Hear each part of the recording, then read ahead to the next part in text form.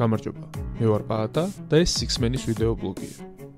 დღევანდელი ჩვენი თემა ჩემი და გვერდ Sixmen-ის ცნობილი ბლოგერის ბინის ერთობლივი ნამუშევარია და ეხება საკითხს, რომელიც დიდი ალბათობით ხმაურსაც კი გამოიწვევს. თუმცა წინასწარ გეტყვით, რომ მე არაფერს ვამტკიცებ და მხოლოდ მსჯელობ. შესაბამისად, მაყურებელს მოგიწოდებთ, რომ თითოეულ ჩემს სიტყვას ყურადღებით მოусმინოთ და რაციონალურად აღიქვათ. თემის სათაური ასეთია: არის თუ არა ქარიმ აბდულ-ჯაბარი ამ სპორტის ისტორიაში ერთ-ერთი ყველაზე გადაფასებული მოთამაშე. ანუ როგორც ამერიკაში იტყვიან overrated. საუბარია ცენტრზე, რომელიც კალათბურთის ისტორიაში თავისი პოზიციის საუკეთესო წარმომადგენლადაა აღიარებული, არაერთ გამოკითხვაში და მას ისეთი ცენტრების წინ ასახელებენ, როგორებიც არიან. Wilt Chamberlain, Hakim Olajuwon, Shaquille O'Neal, იგივე Moses Malone, მოდით ზუსტად 11 არგუმენტით ავხსნათ ეს ყველაფერი. პირველი არგუმენტი. ქარიმს კარიერა გატარებული აქვს NBA-ის ყველაზე სუსტ ერაში და ამ დროს თქვენ წარმოიდგინეთ ეს საუკეთესო ლიგად არც კი მიიჩნეოდა. არსებობდა კიდევ სხვა ABA ლიგა, რომელიც 1976 წელს NBA-სთან გაერთიანდა და საერთო სახელწოდებად ამ უკანასკნელის სახელი დარჩა.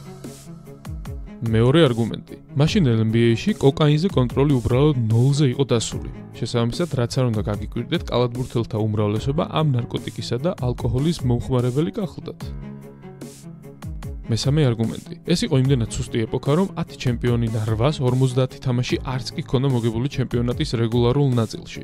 პლეი-ოფის სხვა კლუბების ნახევარზე მეტი კი საერთოდ 51 გამარჯვებით გადიოდა ამ ეტაპზე. და იცით რამდენჯერ გახდა ქარიმი ჩემპიონი ამ უსუსტეს გარემოში? ერთხელ. მეოთხე არგუმენტი. ჯაბარის უმთავრესი მიღწევა არის 6 MVP, ანუ ამდენჯერ გახდა სეზონის საუკეთესო კალათბურთელი. თქვენი აზრით ვინ მიიჩნეოდა მის მთავარ კონკურენტად ამ პერიოდში? პირველი არის ბილ უოლტონი, რომელიც იმ დროს კატასტროფულ სტაგნაციაში იყო, მეორე კი არის დეივ კოუენსი. ახლა დაიდეთ გულზე ხელი და საკუთარ თავს უპასუხეთ, რამდენმა იცით ვინ იყო დეივ კოუენსი.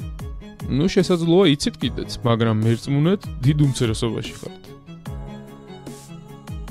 მეხუთე არგუმენტი. ქარიმა თავიდანვე 1969 წელს NBA-ში დაიწყო კარიერა და არასოდეს უთამაშია ABA-ში, სადაც ასპარეზობდნენ ისეთი ტიტანები, როგორებიც არიან.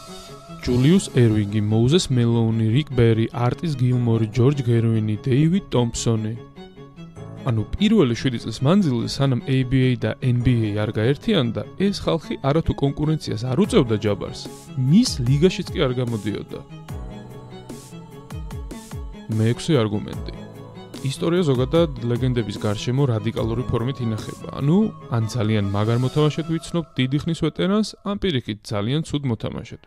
ნუ, ოქროშუალედი ამ დროს ბუნებრივად პრობლემაა. პირველი მათგანი მოქმედებს ქარიმ აბდულ-ჯაბარის შემთხვევაშიც, რომელსაც ფინალების ძალიან სუსტი სერია ჯამში იმაზე მეტი აქვს ჩატარებული, ვიდრე მაიკლ ჯორდანს, კობი ბრაიანს და ლებრონ ჯეიმს ერთად აღებულს. მსგავსი სერიის გამო, რომელიც 2011 წელს ჩაატარა ლებრონმა, მას დღემდე კრიტიკა არ სცდება. მეშვიდე არგუმენტი. 70-იან წლებში, როცა ქარიმი ლეიკერს შეუერთდა, NBA-ს პლეი-ოფში ვერ გავიდა. და გუნდელად ლეგენდარული გეილ გუდრიჩი ყავდა. თქვენ ახლა წარმოიდგინეთ რა მოხდება დღეს ლებრონ ჯეიმსი რომ პლეიოფში ვერ გავიდეს. ან რა მოხდებოდა კობი ბრაიანტი პაუ გასოლთან ერთად რეგულარული ეტაპიდან გავარდნილიყო. იყო წლები როცა კობი და თუნდაც მაიკლ ჯორდანი პლეიოფში ვერ გასულან. თუნდაც ლებრონის კარიერასაც ახსოვს ეს 2 წლის წინ. მაგრამ გადახედეთ აბა ამ პერიოდებში მათ გუნდებს. მოთამაშეთა უდიდესი უმრავლესობის სახელები და გვარები უბრალოდ არაფერს გეტყვით.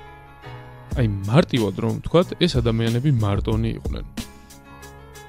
მერვე არგუმენტი. ქარიმი საუკეთესო კალათბურთელი არც ერთხელ არ გამხდარა იმ პერიოდში, როცა ბეჭდები მოიგო. საერთოდაც არასოდეს გაცდენინა პლეი-ოფის მეორე რაუნდს ისეთი გუნდელების გარეშე, რომლებიც დღეს კალათბურთის დიდების დარბაზის წევრები არიან. მეცხრე არგუმენტი. თქვენი აზრით, როგორი სტატისტიკა უნდა გქონდეს ისტორიის საუკეთესო ცენტრს თავისი ბოლო ორი ჩემპიონობის დროს? მე გეტყვით როგორი ჰქონდა ჯაბარს. 15 ქულა და 7 მოხსნა. ну დასკვნები თქვენთვის მომენტია მეათე არგუმენტი. დაცვა. ქარიმი ისტორიის ტოპ დამცველებში მოიხსენიება თუმცა ის მისი პერიოდის უსუსტეს ერაში მხოლოდ 5 ჯერ მოხდა ლიგის საუკეთესო დაცვით ხუთეულში. და ბოლოს მე-11 არგუმენტი. ყველა დროის ყველაზე მეტი გულის ჩამგდები მხოლოდ ორ სეზონში ლიდერობდა NBA-ის კლუბებში. ოსკარ რობერტსონის შემდეგ ტოპ მეკულე აღარ ყოფილა. კიდევ ერთხელ განმარტავ, რომ მე არაფერს ვამტკიცებ და მით უმეტეს არც მოგიწოდებთ, რომ ეს ყველაფერი აუცილებლად ქარიმ აბდულ-ჯაბარის overrated-ობაზე მიუთითებს. უბრალოდ არსებობს არგუმენტები, რომლებიც უკვე მოგახსენეთ და ცუდი არ ამგონია იყოს, თუ სულ მცირე კითხვებს მაინც დავსვამთ. მერწმუნეთ, სტერეოტიპების რღვევაში ცუდი არაფერია.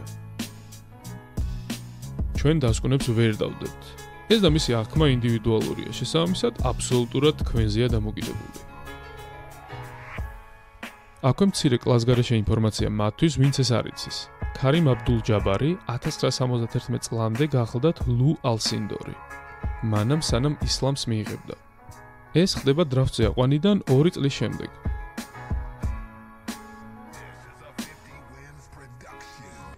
დროებით